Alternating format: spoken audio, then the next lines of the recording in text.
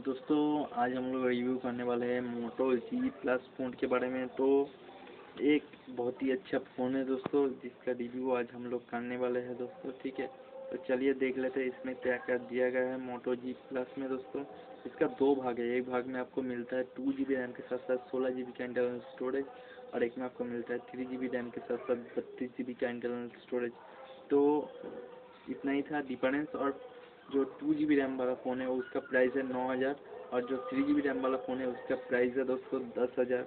ठीक है तो इसमें आपको मिल जाएगा सोलह मेगा पिक्सल का प्राइम कैमरा दोस्तों और फाइव मेगा पिक्सल का फ्रंट कैमरा फ्रंट कैमरा थोड़ा और ज़्यादा अच्छा होता। है फाइव पॉइंट फाइव इंच का फुल एच डी डिस्प्ले दिया गया है, जो कि बहुत ही अच्छी बात है।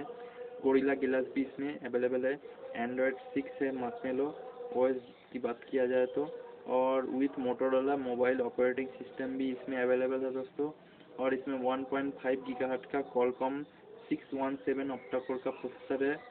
स्नैपड्रैगन कॉलकॉम स्नैपड्रैगन 617 देखा जाए तो एक गेमिंग फ़ोन है, जिसमें Adreno four zero 405 GPU supported करता है दोस्तों। तो एक गेमिंग फ़ोन है दोस्तों, बहुत ही अच्छा गेमिंग एक्सपीरियंस आप इसमें पा सकते हैं। और इसमें आपको टू जी बी रैम तो बोल ही दिया मैं तीन हज़ार एम एच का बैटरी है और four G plus three G SIM आप चला सकते हैं और इसमें आप लोग फास्ट चार्जिंग का भी सपोर्ट इसमें आपको मिल जाता है दोस्तों। तो देखा जाए तो एक बहुत ही अच्छा फ़ोन है मोटो की तरफ़ से आता है, जो कि मोटरोला है। मोटो जी प्लस आप कोई सा भी खरीद सकते हैं, दोनों ही लिंक आपको नीचे डिस्क्रिप्शन में मिल जाएगा। थ्री जी बी रैम वाला भी और टू जी बी रैम वाला भी। और ये वीडियो आपको कैसा लगा नीचे कमेंट करके ज़रूर बता दीजिएगा।